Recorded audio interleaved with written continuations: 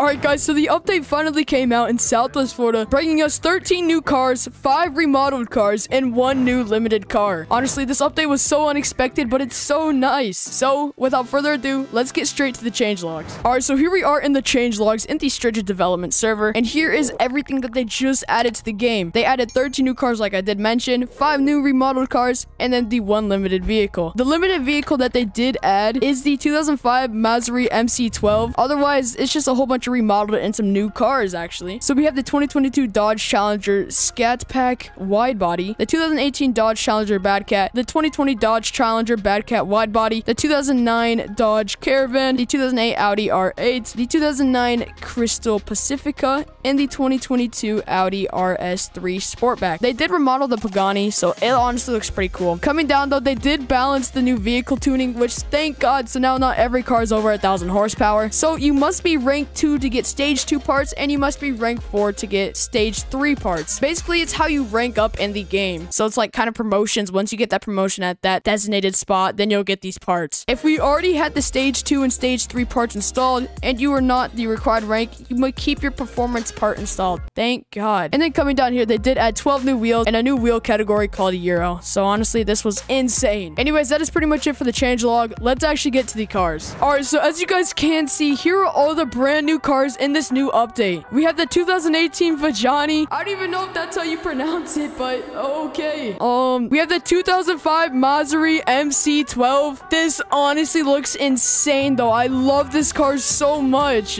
We have the new Demon right here. Is this a new van? Look at this new van. Oh my god. Oh my, this looks so cool. Oh my god. Here's another new Demon. Yo! Th this is honestly looking so nice right here. Let's hop in this though and let's hear it start up.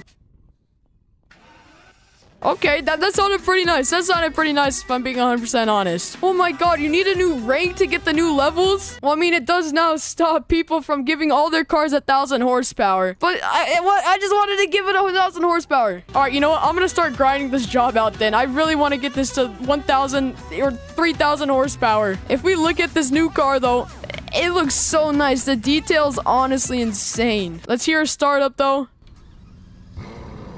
Oh, Oh, that's so clean. That's so clean. Oh my god. That is so nice. Let's go check out the new wheels though, because I honestly want to go and see that. And here it is, the Euro. It's called Euro. And these are all the new wheel selections that we have. They're so expensive though. This is $5,000 just for that type of wheel. So we do have the new Euro wheels and we have all the new cars. Oh my god, look at this remodeled truck though. If we look under, yo, this looks sick. Oh my god. Anyways, that is honestly going to be it for this update video. I really hope you guys did enjoy this though. This update honestly was so unexpected. I it's on it's awesome. Anyways, I do apologize for such a short video, but I hope this really did help. Anyways, guys, I'll see you guys in the next video. Peace out, everybody.